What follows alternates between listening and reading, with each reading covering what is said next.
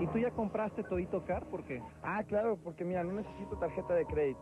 Y bueno, yo con 100 pesos lo hago para navegar todo el mes en internet. No tengo contrato ni pagos fijos.